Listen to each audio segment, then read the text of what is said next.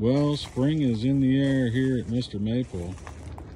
Look at this huge set of Acer palmatum dissectum viridis. They are primed and ready to go for the spring. Everything's leafing out here. Some are further ahead, some are lagging behind, but things are coming alive here at the nursery.